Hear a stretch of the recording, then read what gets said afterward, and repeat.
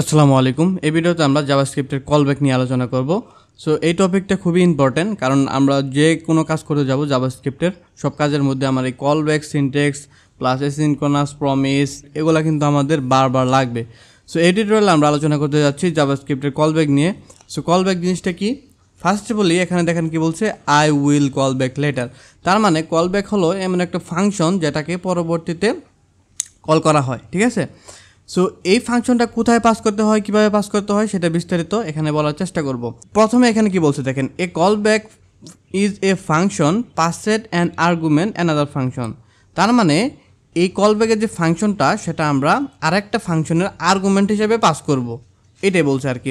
This technique allow a function to call another function okay a call back function can run after another function has finished যখন আরেকটা function শেষ হবে, তখন এই ফাংশনটা কাজ স্টার্ট করবে। এটাই বলছে আর কি। সো এই ফাংশনের সিকোয়েন্স বা সিনটেক্সটা কীরকম সেটা আমরা একটু দেখার চেষ্টা করব।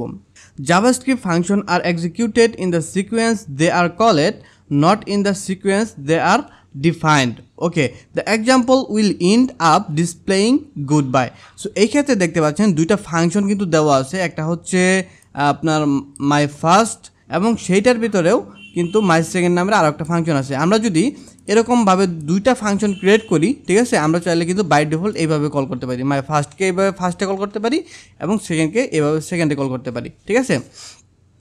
সো এই ক্ষেত্রে আমি একটু যাই, এখানে যাই। যাওয়ার পরে এখানে যদি আমি লিখি, আপনাদের উদাহরণ দিয়ে একটু বোঝানোর চেষ্টা করি। সাপোজ ফাংশন একটা দিলাম এ নামের একটা ফাংশন দিলাম এবং সেইটার ভিতরে কনসোল ডট লগ দিলাম, ঠিক আছে? কী দিলাম? এটার ভিতরে দিলাম হলো দিস ইজ ফার্স্ট ওকে এবং আমরা সেম সিনটেক্সে আরেকটা ফাংশন ক্রিয়েট করলাম, সেটা হচ্ছে বি নামের আরেকটা ফাংশন দিলাম এবং সেই ক্ষেত্রে এটা দিলাম হলো দিস ইজ সেকেন্ড এখন কথা হচ্ছে, আমরা যদি এইখানে কল করতে যাই, তাহলে কিন্তু এখানে কল করার উপর ডিপেন্ড করবে যে এটা কোন সিকোয়েন্সে বা কোন সিনটেক্সে আমাদের কাছে শু করবে। সো এক্ষেত্রে যদি আমরা এ কে আগে কল করি, তারপর যদি বি কে কল করি, তাহলে কি হবে? তাহলে কিন্তু এ আগে এক্সিকিউট হবে দেন বি এক্সিকিউট হবে, ঠিক আছে না? আমি যদি এখানে গো টু লাইভে যাই, তাহলে দেখতে পারব, এখানে যদি যাই, গেলাম ওকে ইন্সপেক্ট ইন্সপেক্ট কনসোল গেলাম, এবং এটাকে রিফ্রেশ দিলাম সো দিস ইজ ফার্স্ট আগে হয়েছে দেন দিস ইজ সেকেন্ড তারপর হয়েছে।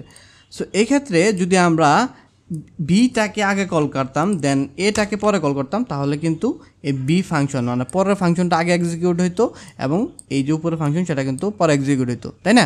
সো এখানে দেখেন বি ফাংশনটা আগে এক্সিকিউট হয়েছে, তারপরে এ ফাংশনটা আগে এক্সিকিউট হয়েছে। সো এর কারণটা কি? সো এটা জাস্ট কিন্তু ফাংশন ডেফিনেশন বাট এটা কিন্তু কলিংয়ের উপর নির্ভর করতেছে যে আমরা কোনটাকে আগে কল করতেছি, সেটার উপর ডিপেন্ড করে কিন্তু সিকোয়েন্স অনুযায়ী আমাদেরকে সেটা কিন্তু বাই আপনার এক্সিকিউট হইতেছে, ঠিক আছে? সো এখন আমরা এখানে যাই। এই জিনিসটা এখানে বলার চেষ্টা করছি okay the example will end up displaying hello okay so এখানে সো সেম জিনিসটাই করছে, এক্ষেত্রে কিন্তু কি করছে? মাই সেকেন্ডটা আগে কল করছে দেন মাই ফার্স্টটা পরে কল করছে। তার মানে কলের উপর ডিপেন্ড করে কিন্তু ওই সিকোয়েন্স বা সিনটেক্সটা কিন্তু স্টেপ বাই স্টেপ আসে।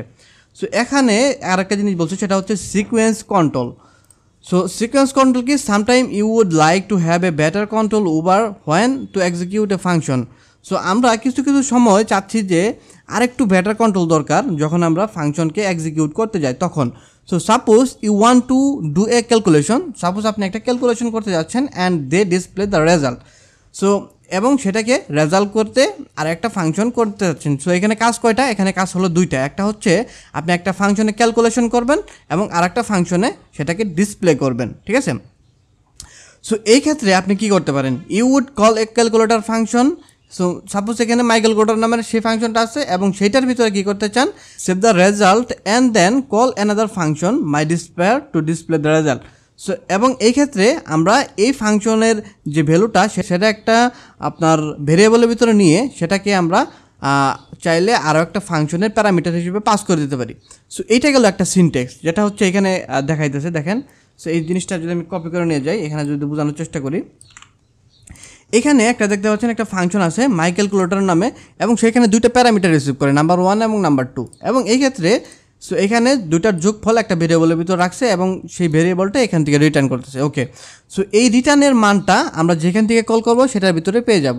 সো এখান থেকে কল করছে কি? মাইকেল ক্যালকুলেটর এখানে কল করছে, এবং দুইটা মান কিন্তু প্যারামিটার হিসাবে দিয়ে দিছে। ওকে সো এই যে মান দুইটা যোগফল কিন্তু এই রেজাল্টের ভিতরে আসবে।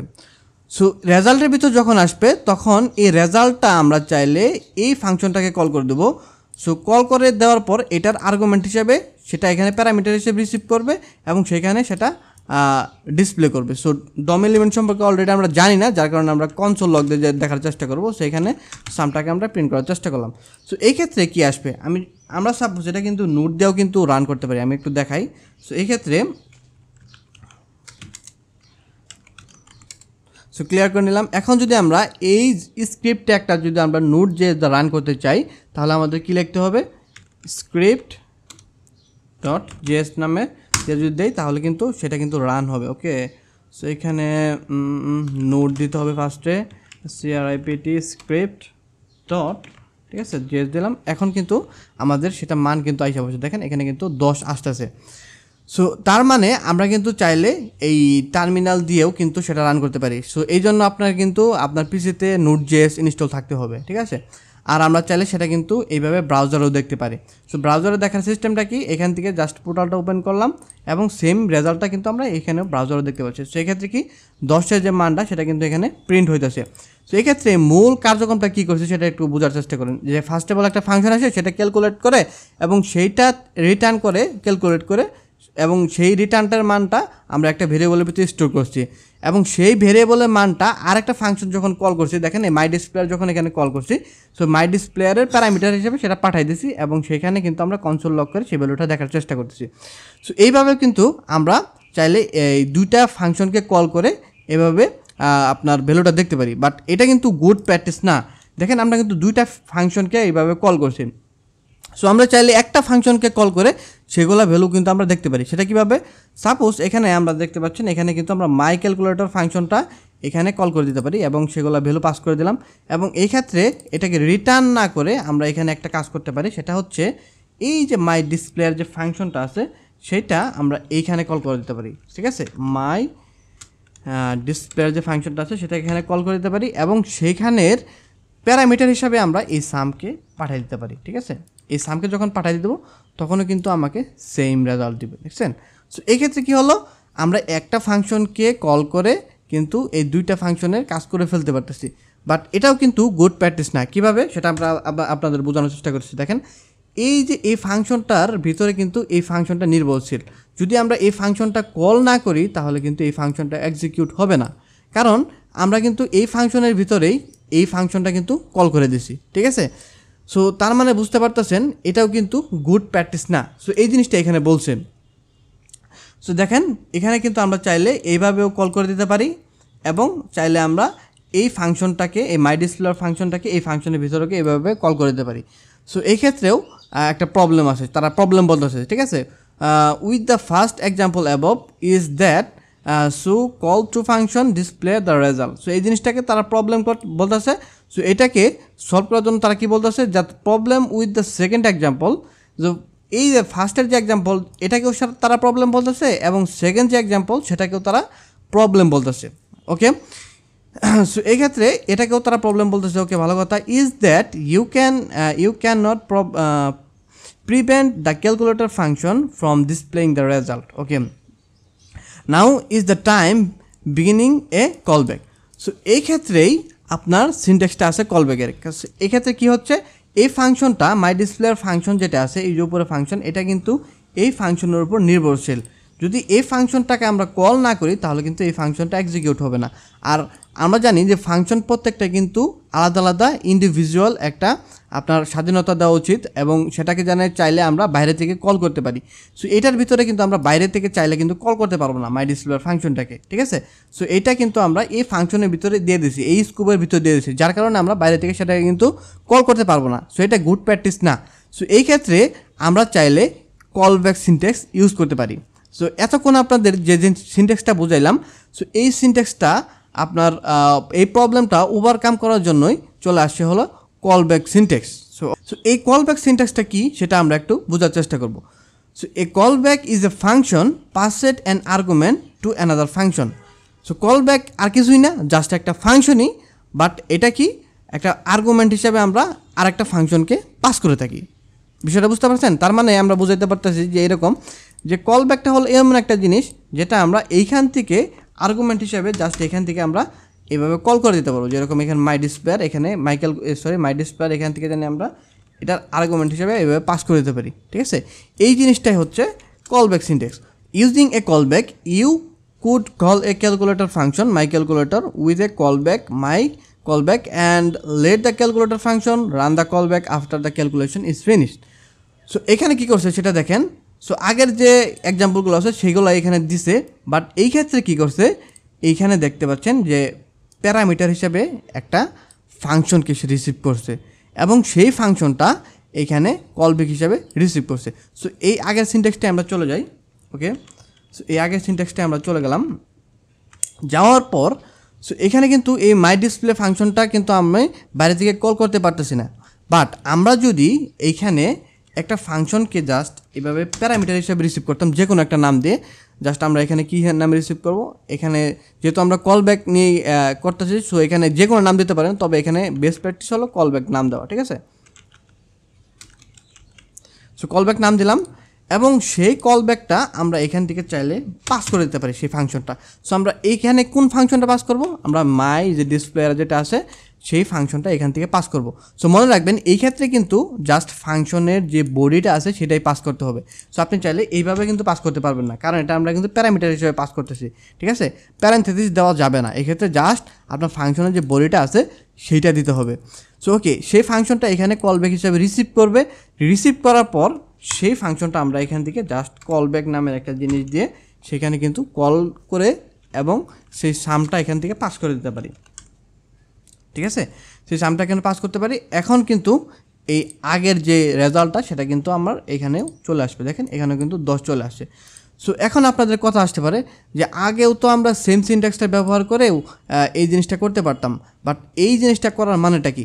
সো আপনি চাইলে কিন্তু সেটাকে বাইরে থেকে কন্ট্রোল করতে পারতেছেন। আপনি যদি এখান থেকে মাই ফাংশন যেটা আছে, ঠিক আছে মাই কল ব্যাক যেটা আছে, সেটাকে যদি না দিয়ে দেন, ঠিক আছে, সেক্ষেত্রে কিন্তু আপনি সেই ফাংশনটাকে এভাবে অ্যাক্সেস করতে পারবেন। দেখেন, আমি কিন্তু সেই ফাংশনটাকে যদি কলব্যাক হিসাবে না দিয়ে দিতাম, বাইরে থেকে যদি আমি না দিয়ে দিতাম, তাহলে কিন্তু ভিতরে এক্সিকিউট করতো বাট সেখানে ভ্যালুটা শু করতো না। বাট আমি চাইলে কিন্তু সেটাকে বাইরে থেকে এইভাবে কন্ট্রোল করে দিয়ে দিতে পারতেছি, যে আমি বাইরে থেকে মাই ডিসপ্লে ফাংশনটা দিয়ে দিলাম, কিংবা অন্য একটা ফাংশন দিয়ে দিলাম, সেটা ভিতরে যাইয়া সো এখান থেকে যখন এই ফাংশনের টোটাল মানটা আপনার এক্সিকিউশন শেষ হবে, যে এখানে যোগফলের মানটা সেখানে শেষ করবে দেন সেই কলব্যাক ফাংশনটা কল করবে। সো এই সিনট্যাক্সটাই হচ্ছে কলব্যাকের ফাংশন, ঠিক আছে? সো এখানে যে জিনিসটা দেখতে পাচ্ছেন সো এই এক্সাম্পলটা কিন্তু মানে অতটা ইন্টারেস্টিং না, তারপরেও মানে কলব্যাকের সিনটেক্সটা হলো এইরকম জাস্ট সো আপনাদের মনে রাখতে হবে যে কলব্যাকটা সিনটেক্সটা হলো ঠিক এরকম আপনার আর্গুমেন্ট হিসাবে সেটাকে পাস করবেন এবং সেটা প্যারামিটার হিসেবে রিসিভ করবেন। রিসিভ করার পরে ভিতরে যে কোনো কিছু করতে পারেন, ঠিক আছে? সো এই যে যে সিনট্যাক্সটা দেখলেন, এই সিনট্যাক্সটা টোটালি হচ্ছে কলব্যাক ফাংশন সো আপনারা যারা বুঝতে একটু অসুবিধা হইতেছে সো প্যারা নেওয়ার কোনো দরকার নেই, কারণ নেক্সট টিউটোরিয়ালে আপনাদের আরও একটু মানে বোঝানোর চেষ্টা করব। এই কলব্যাক আসলে কী জন্য ইউজ করতেছি এবং কলব্যাক চাইয়ে আরও বেটার কোনো ওয়ে আছে কিনা, সেগুলো কি, সেগুলো আপনাদের বোঝানোর চেষ্টা করব। সো এখানে দেখেন কি বলছে in the example above my displayer is a called callback function so এই ক্ষেত্রে আমরা যে মাই ডিসপ্লেয়ারটা যেটাকে যেটাকে কল করছে এখানে, ঠিক আছে, এই ডিসপ্লেয়ার যে কলটা করছে এখানে যাই আমরা একটু। সো এই যে কই যে সেটা মাই displayer function my displayer function okay এই যে মাই ডিসপ্লেয়ার ফাংশন যেটা কল করছি। সো এক্ষেত্রে যেটা আপনার আর্গুমেন্ট হিসেবে পাস করছি সেটাই হচ্ছে কল ব্যাক ফাংশন সেটা এখানে বলতেছে আর কি, ঠিক আছে? It pass at an my calculator argument so এই মাই ক্যালকুলেটরের যে আর্গুমেন্ট আছে, এই যে আর্গুমেন্ট আর্গুমেন্ট হিসাবে সেটাকে কিন্তু আমরা পাস করে দিচ্ছি আমরা জানি যেখান থেকে ফাংশনটা কল করছি, সেখান থেকে কোনো ভ্যালুটাকে যদি আমরা পাস করে দিই, সেটা হচ্ছে আর্গুমেন্ট এবং যেই ফাংশনটাকে আমরা এইভাবে রিসিভ করতেছি সেটা হচ্ছে প্যারামিটার সেটা আমরা অলরেডি কিন্তু আপনাদের এই ফাংশন টিউটোরিয়ালে কিন্তু বিস্তারিত বলছিলাম। ওকে সো এখন এখানে কি বলছে? দেখেন note when you are passing a function and argument remember not use and parenthesis সেটা আপনাকে অলরেডি বলছি। সো যখন আমরা এখানে এই ফাংশনের বডিটা পাস করব, সেক্ষেত্রে কিন্তু আমরা চাইলে এখানে এইভাবে ফার্স্ট ব্রেকেট দিতে পারব না, ঠিক আছে? এই যে সেটার এখানে একটা রাইট ওয়ে গেছে যে এইভাবে মাইকেল ওয়াটারে দিলেন, সেখানে দুইটা ভ্যালু পাস করলেন এবং সেখানে আপনি চাইলে এই ফাংশনের বডিটা দিতে পারবেন বাট সেটাকে কিন্তু এইভাবে কল করে দিতে পারবেন না। যদি কল করে দেন, সে তাকে তাহলে কিন্তু আপনাকে ইরুর দিবে, ঠিক আছে? সো এক্সাম্পল এখানে দিছে, দেখেন এখানে একটা এরে আছে। সো এরের ভিতরে কি করছে? তারা এখান থেকে নেগেটিভ নাম্বারটাকে তারা রিমুভ করছে। তো ওকে সো নেগেটিভ নাম্বারটাকে রিমুভ করে তারা এখানে শু করতেছে। সো এই এক্সাম্পলটা আমরা এখানে নিয়ে যাই এবং এটার বিস্তারিত বলার চেষ্টা করি আর কি, আপনাদের বোঝানোর চেষ্টা করি যে তারা কি করছে। ওকে এই এক্সাম্পলটা এখানে দিলাম। সো এখানে একটা মাই এরে নাম্বার একটা একটা এরে আছে। মাই এরে নাম্বার এখানে অনেকগুলা নাম্বার আছে, দেখতে পাচ্ছেন। Four one minus twenty minus seven minus six so এইখান থেকে আমরা ফিল্টার করে জাস্ট প্লাসের যে মানগুলো আছে, সেগুলো মান নেওয়ার চেষ্টা করব এবং মাইনাসের মানগুলো এখান থেকে বাদ দেব। সো এই ক্ষেত্রে আমরা কল ব্যাক সিনটেক্স ইউজ করে সেটা করতে পারি। সেটা কীভাবে? সেটা সেজন্য এটুকু আপনার একটু পরে আসতেছি, ঠিক আছে? এটুকু আমরা একটু পরে আসতেছি। সো তার আগে আমরা এটুকু আমরা দরকার নেই। এবং এটুকু পরে আসতেছি, এখন আমরা এই ফাংশন আগে যাই। সো এই ফাংশন কী করছে? রিমুভ নেগেটিভ নামের একটা ফাংশন দিছে এবং সেটা ফাংশনটা দুইটা প্যারামিটার রিসিভ করে। একটা হচ্ছে নাম্বার আর একটা হচ্ছে কলব্যাক ভালো কথা, নাম্বারের ভিতরে কি আছে? নাম্বারটা এই যে মাই নাম্বার যেটা আছে, সেটা এখান থেকে পাস করে দিয়েছে। এবং সেটার ভিতরে এই ফাংশনের ভিতরে কি করতেছে? আমরা আগে দেখে আসি, তারপরে কলিং যে সিস্টেমটা সেটা পরে আসতেছি। সো, এই ফাংশনের ভিতরে কী করছে? যে কনস্ট্যান্ট নিউ আপনার এরে নামের একটা এরে নিছে, সেটা হচ্ছে এমটি একটা, ঠিক আছে? এমটি একটা এরে জাস্ট ফাঁকা একটা এরে সেটা নিছে মাই এরে নামে। এবং সেখানে সেটার ভিতরে কিন্তু একটা লুপ চালাইছে। সেটা কি? ফর লুপ চালাইছে। আমরা জানি এরের ভিতরে কিন্তু আমরা ফর লুপ চালাইতে পারি। ঠিক আছে? ফর অফ লুপ চালাইতে পারি। সো এই এরের ভিতরে তারা কি করছে? ফর অফ লুপ চালাইছে। সো কনস্ট্যান্ট একশো অফ নাম্বার নাম্বারটা কোনটা? এই যে প্যারামিটার হিসাবে যেটা রিসিভ করছি, সেটা আমরা যে যেখান থেকে পাস করব, সেটা এই এরাটাকে পাস করব।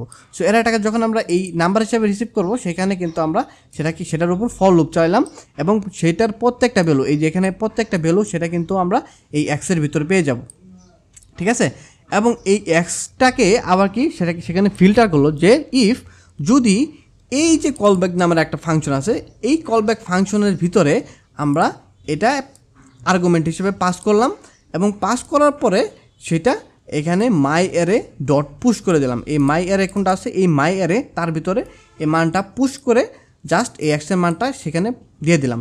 সো এই ক্ষেত্রে এইখানে কী করছে দেখেন যে কলিং যে সিনটেক্সটা সেখানে কী করছে? রিমুভ নেগেটিভ এই ফাংশনটাকে কল করছে। আমরা জানি এই ফাংশনটাকে দুইটা দুইটা প্যারামিটার রিসিভ করে একটা হচ্ছে নাম্বারস আর একটা হচ্ছে কল ব্যাক সো ওকে এখানে নাম্বারটা সে রিসিভ করছে। সো এই ক্ষেত্রে এই ফাংশনটা আপনি হয়তো বা ধরেন সাপোজ এখান থেকে আমরা এটাকে আলাদা একটা ভাগ করে নিই তাহলে বুঝতে সুবিধা হবে। সো এখানে আমরা ওই ফাংশনটা ক্রিয়েট করতেছি। So, এই ক্ষেত্রে আমরা ফাংশন দিলাম। ফাংশন এটাকে গিয়ে দেওয়া যায়? এটা দিলাম হলো এটা হচ্ছে আমাদের first first call back first call back নামের একটা ফাংশন আমরা ক্রিয়েট করলাম এবং সেইটার ভিতর আমরা কি করলাম যে এক্সের যে মানটা সেটা রিসিভ করলাম এবং রিসিভ করার পর সেটার ভিতরে আমরা কি করলাম? X greater than equal to zero এটা করে দিলাম। তার মানে কি করলাম যে এই এক্সের যে মানটা সেটা জিরো থেকে বড় হতে হবে। সেটা একটা কন্ডিশন দিয়ে দিলাম। এবং সেই কলব্যাক ফাংশনটা আমরা এইটার আর্গুমেন্ট হিসেবে পাস করে দিলাম। ঠিক আছে? সো এটা আমরা নিচে কল করলে একটু সিনটেক্সটা সুন্দর দেখা যাবে। কারণ আমরা জানি ফাংশন হোস্টেড হয়। সো হোস্টেড হলেও উপরে দিলেও কোনো সমস্যা নেই। সো এখানে দেখতে পাচ্ছেন দুইটা ফাংশন আছে। একটা হচ্ছে এ একটা ফাংশন, এখানে এ একটা ফাংশন। তবে মেন ফাংশনটা হচ্ছে এইটা। এবং সেটার যখন আমরা যেখান থেকে কল করব, সেই কলিং কলিং মেকানিজমে দুইটা প্যারামিটার পাস করতে হবে। একটা হচ্ছে নাম্বার আর একটা হচ্ছে কল ব্যাক ওকে এই নাম্বারটা আমরা পাস করলাম, এই এয়ারের নাম্বারটা এই যে দেখেন, এই এয়ারের নাম্বারটা এবং এখানে আপনার কল ব্যাক যে ফাংশনটা সেটা পাস করলাম এই ফাংশনটা ঠিক আছে? সো এই ফাংশনটা এই মানটাকে সে রিটার্ন করবে। আমি রিটার্নটা দিয়ে দিই, না হলে কিন্তু আবার একটু ভেজাল করবে। সো এই মানটা সে রিটার্ন করবে, ঠিক আছে? তার মানে এখন আমরা যদি এই কলের ভিতরে যাই কলব্যাকের ভিতরে, যাওয়ার পর সেখানে কি করবে? এই রিমুভ ফাংশনটাকে কল করবে দেন এই এরাটা এটার ভিতরে আসবে এবং কলব্যাকের এই যে যে সিনট্যাক্সটা সেটা এখানে রিসিভ করবে।